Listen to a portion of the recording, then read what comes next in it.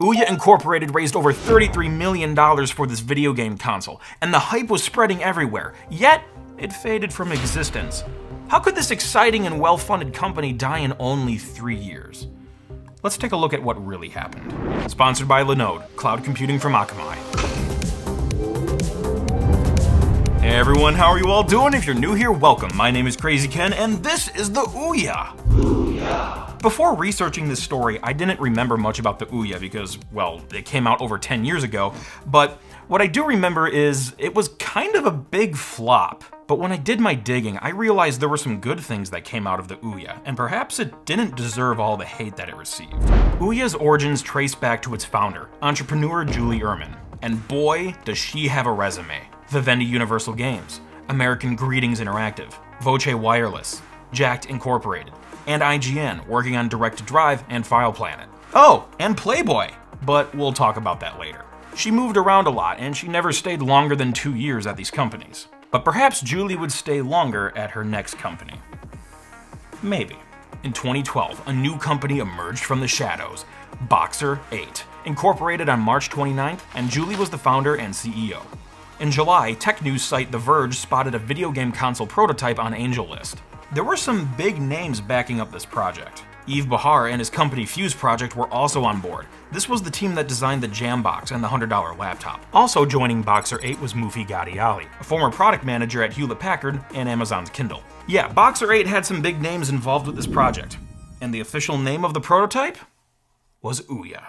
Ouya's goal was to be a $99 Android-based game console, which also doubled as a dev kit, built to be hacked. But the killer feature was the low barrier to entry for devs. Developers could self-publish on the platform and develop their games right on the same box that consumers play on. The platform wasn't just restrictive to big budget companies and AAA titles. The hype seeds were starting to be planted, and then Kotaku and Eurogamer caught wind of The Verge's discovery, and the Ouya started spreading.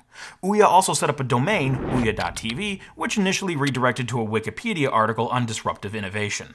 Ooh, these guys really wanted to send a message. They wanted to start a revolution, didn't they? Well, that sounds expensive, so you're gonna need some seed money. Tell you what, Julie, I'll get you started with a nice crisp Washington.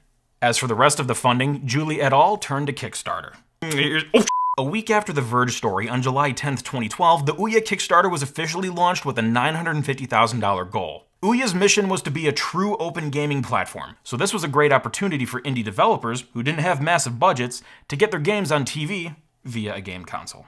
The pitch video also claimed every game is free to play. We'll have a full store of games, all free to play. But don't get too excited, the fine print goes into more detail. Developers can set whatever price they want for their game. They can even list it for free, no problem.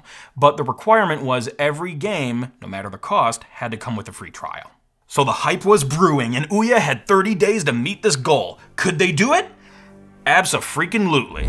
They smashed the $950,000 goal in 8 hours. The Ouya campaign ended on August 9, 2012, with almost $8.6 million in funding from over 63,000 backers. At the time, it was the second most funded project on Kickstarter, behind the Pebble smartwatch. Hey, I did an episode on that too, and the CEO and founder of Pebble said it was good, so you should check that out next.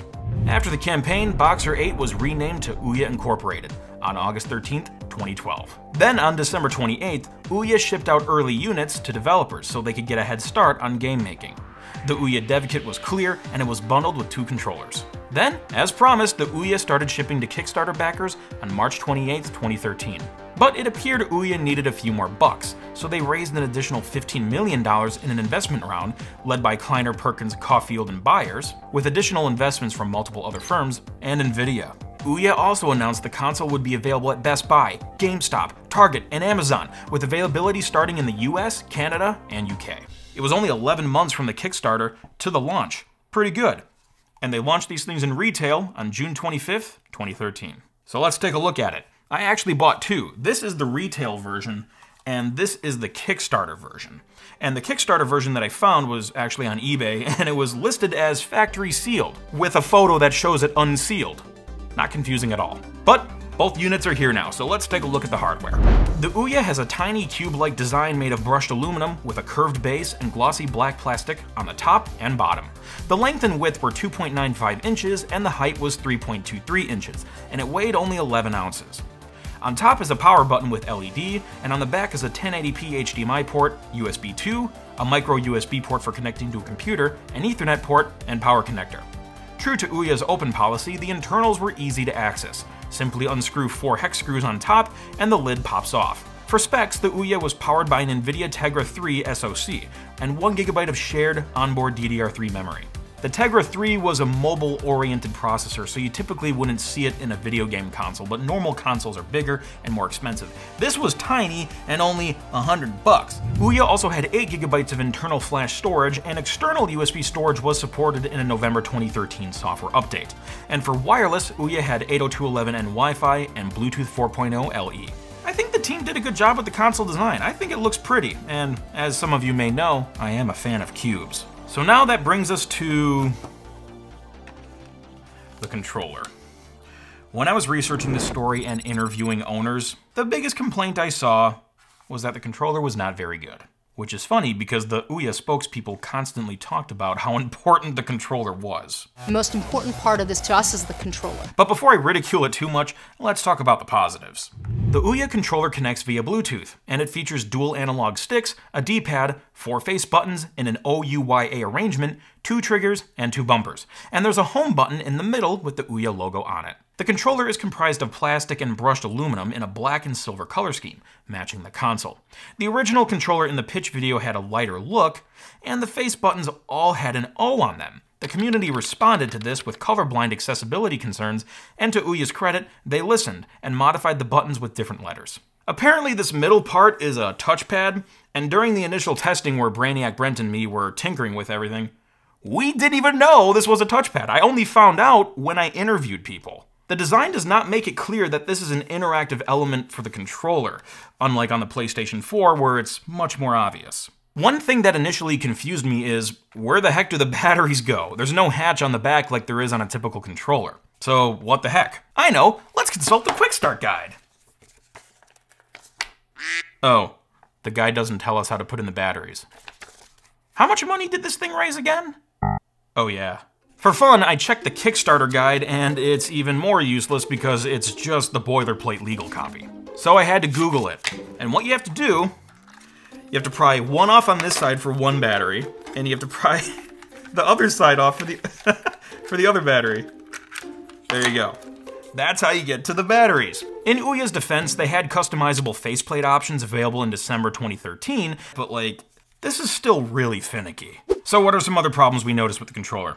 Well, Brainiac Brent did some extensive testing and he noticed there was sometimes latency. I noticed the problem too when I was playing Skyriders, and some of my interviewees confirmed this issue as well, so it's widespread. I don't know if it's just the game, but like, it does feel like it's not responding like immediately after I touch a control. That's probably your controller. Oh, sh And the triggers, they just kind of feel uh, grindy. You can really hear and feel the spring crunching when you press them and the input is not consistent, despite holding the trigger in the same place. In our test against a GameCube controller, we found the Ouya triggers were a tad jittery. Also, the handles are really fat. Just for comparison, here's the handles next to an Xbox One controller and a GameCube controller. The Ouya is thick. I'm getting some Xbox Duke vibes from this. Maybe not as bad, but still thick. I interviewed Ron from Ron's computer videos and he said his son stopped playing with the Ouya because the controller hurt his hands. Yeah, I think I can see why. Originally, I thought these shortcomings were just due to the price. The console and the controller together is $99, and sometimes lower price just means lower quality. But Ouya sold these controllers individually for $49.99, which is only 10 bucks less than the PlayStation and Xbox controllers. You're gonna have a hard time competing with them. So that's the hardware. Now let's take a look at the software. Ouya's software is built on Android 4.1 Jelly Bean, but Ouya uses a custom launcher for the main user interface, so you don't really see much Androidness until you open certain system-related menus. Through the main menu, you can access your game library and the store, where you can try and buy new games. The store is not available anymore, and I'll explain why soon, but a new store is accessible thanks to a new Ouya server hosted by Christian Weiske. Shout out to Ouya World and Xerix for the Connectia PowerShell script and setup guide. Brainiac Brent followed it to get my Kickstarter Ouya unit up and running. Ouya encouraged hacking the system, so it's pretty easy to root and doing so won't void your warranty. You can also sideload applications via USB, and in an August 2014 update, you can now sideload Android packages, APKs, over the internet via the Make menu.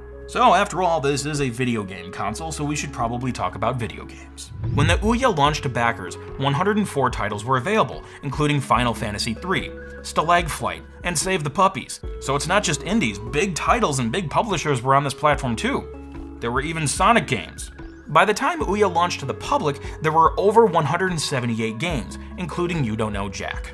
Julie, you, you can say just shy of 180 games, or even better, over 170 games, but you can't say over 178 games. That's weird. A noteworthy title on the Ouya was Towerfall, developed by Matty Thorson, who would later go on to create hit game Celeste, which, as of today, has an overwhelmingly positive rating on Steam with 76,683 reviews. Towerfall wound up being the number one selling game on Ouya, which sold 7,000 copies. Sounds like things are going great. So, what the heck happened? How did this whole company die in only three years? You never get a second chance to make a first impression. Unfortunately, Ouya fell short of many people's expectations. On the bright side, Ouya did receive praise for its low cost, small size, and openness, but many criticisms stemmed from the limited game selection and poor performance of the system. Yeah, see the oh, there we go. We got some like cursor lag going on here. You get what you pay for? Remember, this whole bundle is only 99 bucks. This half of it is only about 50 bucks. To people who don't know how Tegra 3s work, and they just listen to Julie in the marketing, they probably thought this would be more powerful. This is a beautiful outside with incredibly powerful inside. And then later they were disappointed by some of the performance issues. Another disappointment was no Minecraft! Even though Julie herself said Minecraft would be on the console in the pitch video, that never happened. Minecraft is going to be on it. Ouya's Kickstarter quoted this paragraph from Mojang, which said, I could see all current Mojang games go on the platform if there's a demand for it. Minecraft creator Notch tweeted, The problem with Minecraft for the Ouya is that it's Android, and our Android version of Minecraft isn't exactly that super great. You could sideload the Pocket Edition of Minecraft if you want, but that's not really a great TV experience. And there were more problems. Like I hinted at earlier, the controller received a lot of criticism, and since I already harped on that, I'm not gonna beat a dead Thankfully, Ouya tried fixing some controller latency problems with a software update, but I'm not sure how effective it truly was because Brainiac Brent noticed latency with the latest version of the software available. I noticed the same issues too. Julie also stated the company was quietly refining the controller hardware, while also announcing plans for a new Ouya in 2014, which we will discuss in a bit. But sadly, all these aforementioned issues were just the tip of the iceberg. Despite tens of thousands of registered developers, many were not embracing the platform enough, so there weren't enough must-have titles on the Ouya to convince people to go out and buy one. Even the top-selling game we talked about earlier, Towerfall, sold only 7,000 copies. I think that's a pretty good start for an all-new platform. Like, it's hard to build an all-new ecosystem.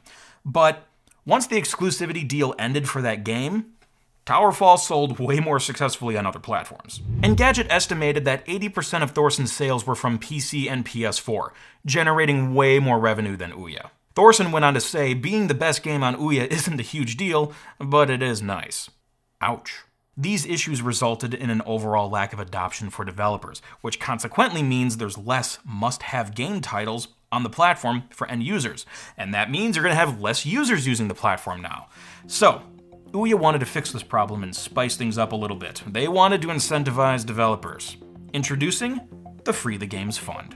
On July 18, 2013, Ouya announced a year-long $1 million funding program for developers. If a dev raised a minimum of $50,000 on Kickstarter for their new game, Ouya would match the funds up to a quarter million dollars as long as the developers agreed to make their game Ouya exclusive for at least six months. That sounds pretty awesome. I'm gonna make a game now just gotta bust out Game Maker like I did in the old days.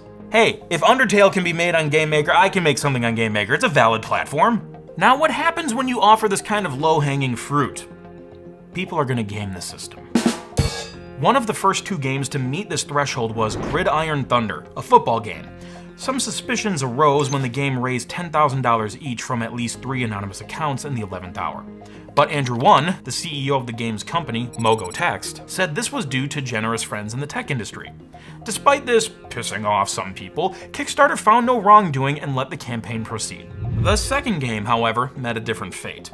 Elementary My Dear Holmes was a point and click adventure game being developed by Victory Square Games. Kickstarter suspended this campaign after it raised $58,770. Kickstarter reported to Wired that it found the campaign to be in violation of the rules, but they didn't specify which one. According to Engadget, the game's developer, not sure if they mean Sam or someone else at Victory, said the suspension had to do with, quote, suspicious accounts. In Sam's statement, he says he does not know 100% why they got suspended, and Kickstarter didn't give a reason. If that's true, that's some BS on Kickstarter, in my opinion. Sam did admit he and his employees created some accounts for immediate friends and family, and he convinced some other non Victory employees to donate too. These other folks shared an office space with Victory, but they weren't necessarily working for Victory. We may never know the true reason why Kickstarter decided to suspend Victory's game, but not Mogo's. And on a side note, Victory Square Games' Facebook is inaccessible, their Twitter has been suspended, and Sam's Kickstarter account has also been deleted. Do with that what you will. But it didn't end there. Another game, Dungeons The Eye of Draconis, also joined the fund, but many Kickstarter users accused the developer, Sucker Free Games, of gaming the system. Later, lead designer William McDonald revealed his father used retirement funds to pledge most of the money to the campaign. In this situation, the case was much more black and white. Ouya straight up ripped these guys out of the fund. McDonald posted an update to his Kickstarter titled, with deep regret, and he went on to say that we have no plans to develop for Ouya any further, and he canceled the funding.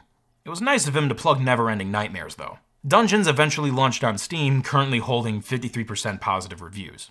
Dang. You know, I kind of feel bad for Ouya. They were trying to do something nice for developers, and people were just cheating the system and or accusing others of cheating the system. And this tarnished Ouya's image, and I don't think they were in the wrong. They didn't deserve that. In the midst of these controversies, Ouya changed the rules. The new minimum goal was $10,000 and 100 backers. And to Julie's credit, she clearly says if Ouya or the community feels devs are gaming the system, your game will undergo review. What a cluster But unfortunately, another bad move was right around the corner.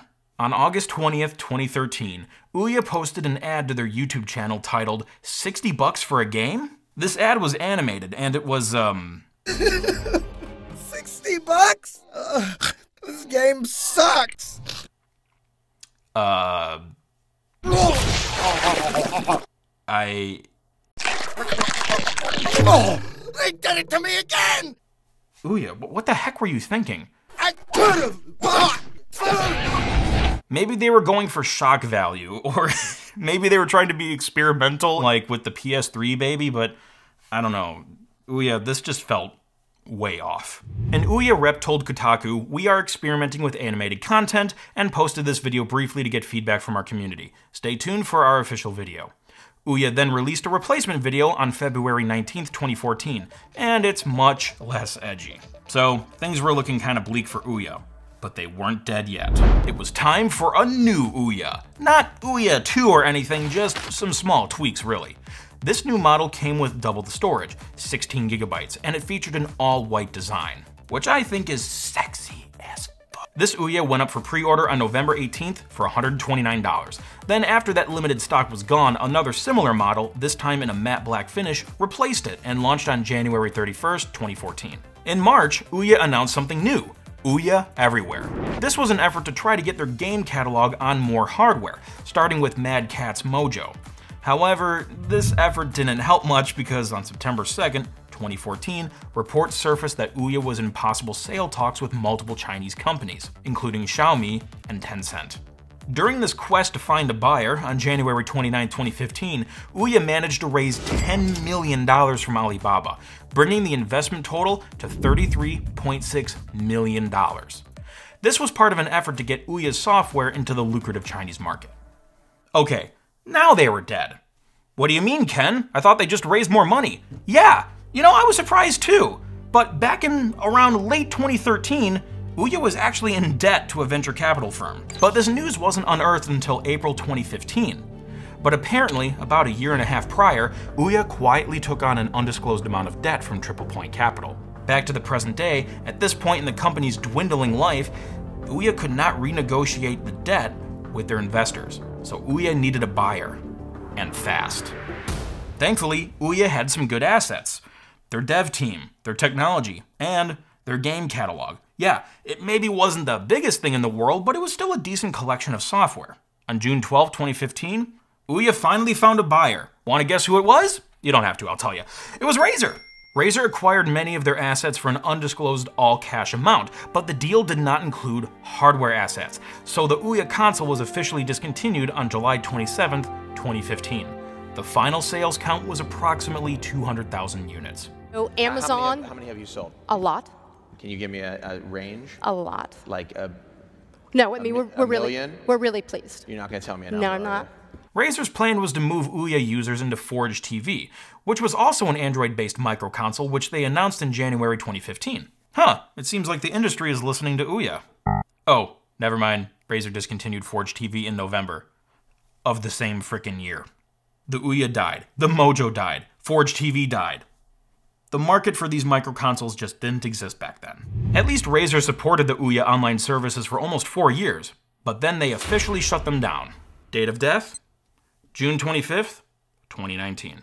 This shutdown rendered the Ouya store and many applications unusable for a while, but thanks to Weiske and the Ouya community, people can use their Ouya similarly to back in the day. So, the Ouya was dead, the company was gone.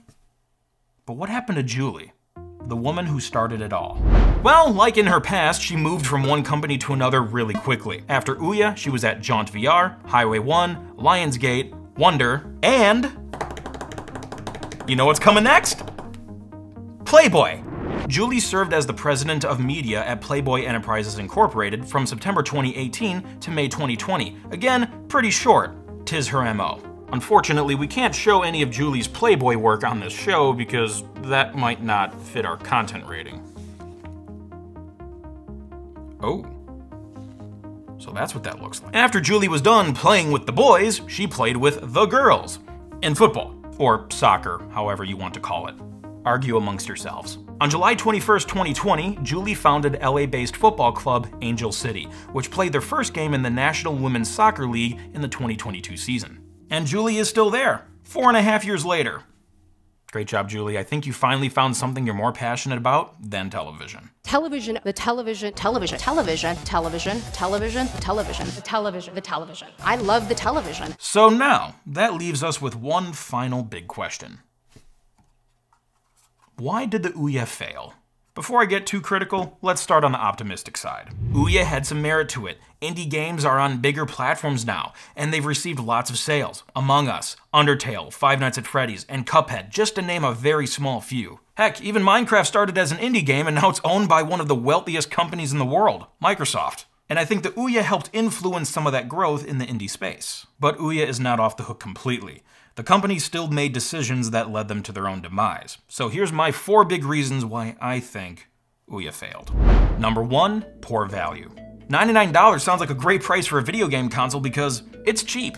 But at the end of the day, consumers don't want cheap, they want value. And keep in mind, this console was competing against the big boys Nintendo, Sony, Microsoft. So if you don't offer that killer value, like great exclusive games that you can't get anywhere else, you're toast. Number two, Ouya focused on two groups of customers at once. When you watch the Ouya pitch video, at one point it seems great for developers, then maybe great for gamers, then great for developers again. It keeps flipping back and forth. Who are you actually targeting? I get it that they wanted to be bold and do both at once, and maybe if the company was bigger and more experienced, they could have rolled out more focuses over time, because in real life, you can have a great fork or a great spoon. But if you put them together, you get kind of a half-assed solution. A spork. What was it that Ron Swanson said? Never half-ass two things, whole-ass one thing? I live by that. In my opinion, I think Ouya accidentally made a really good developer box, but they kind of forgot to also make it a great video game console. Number three, empty promises. The Ouya hype was blown out of proportion because of this whole openness, free the games revolution. At the beginning, the marketing worked and everyone was hyped up and emotionally invested. They were excited and willing to spend their money. But then when they got the product, they were like, oh, this isn't as good as I thought it was gonna be. And that leads to a lot of disappointed customers. Many people I interviewed didn't use their Ouyas for more than a year or two. And there were some straight up misleading promises. In the pitch video, Julie says Minecraft will be on the Ouya. In reality, that never happened. And Julie also said, all free to play when talking about games, but that's kind of misleading to people who don't know better. All free to play. And that brings us to the fourth and final reason as to why I believe Ouya failed. Julie. Sorry, Julie, if you're watching this, nothing personal. The more I watched her give speeches and do interviews, the more I just kind of felt like she was faking it until she makes it. And she undersells the Ouya sometimes, or sometimes she's just not very clear about the Ouya's mission. And she's also not very aware of the competition. Minority Media is building a game that actually leverages the buttons and the touchpad, right? Because our controller has a touchpad. You're not going to find that somewhere else. Um, and the Well, reality the, new, is, the new PlayStation 4 controller has a touchpad. That's true. It? They could build it for that. So, But they're building it for me. That's what I know. That's embarrassing. what happens if uh, the you know PS4 and the next Xbox they're, they're like, hey, we want to get all, everybody in here. Self-publishing is a thing. It basically is the App Store or some variation of the App Store. How does that affect your business? Does it affect your business? It's like saying, what do you do if there's an earthquake? What? It could happen, but it doesn't benefit me to spend time thinking about that. Oh, I feel like you should be concerned with that, maybe? Again, lack of awareness. Also, here she is talking about the face buttons on the controller. Yeah, and then they had another Reddit poll to figure out where the O should be and starting it. Eve said it should be it at goes, the bottom. It goes uh, clockwise. Counterclockwise. Oh, really? Counterclockwise. Interesting. Yeah. Um, Julie, you have the controller with you. You can check this. Your face buttons go clockwise, not counterclockwise. Are you okay? You need a coffee? But I'd have to say my favorite Julie moment is this. there is nothing special about this board. Nothing. Like, nothing. Look, I get that she was trying to imply that the ecosystem and the software in the games are more important than the hardware itself, but saying part of your product is nothing special still doesn't sound that great. Imagine if Steve Jobs went on stage with the iPhone, held it up, and said, This is not special. It sounds kind of dumb, right? So, Julie, in my opinion, doesn't strike me as an honest, clear visionary who can lead a company to success. And as the old saying goes, a fish rots from the head down. If leadership is bad, it'll trickle down to the rest of the company. And I believe these four factors are what sadly killed Ouya. On the bright side, Julie appears to be happy in her Angel City venture, and indie video games are flourishing on a whole new level today. And I think part of that is thanks to the Ouya's influence. Oh, and remember how I mentioned Ouya was purchased by Razer? Well, another company was bought out recently Linode. Akamai bought them. And if you have an application or website that needs to be scaled and deployed, Linode has the infrastructure and the 24 7 support you need. Linode offers out of box apps for game servers like TF2, CSGO, and even Minecraft.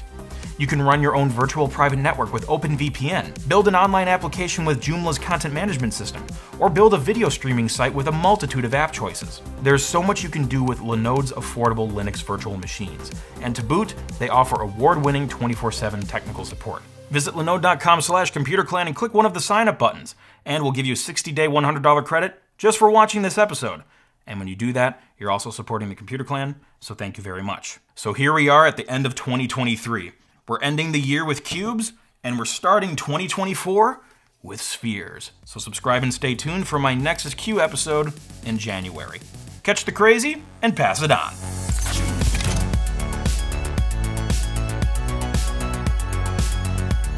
Wait, we forgot one important question. Can it run Crysis? Television.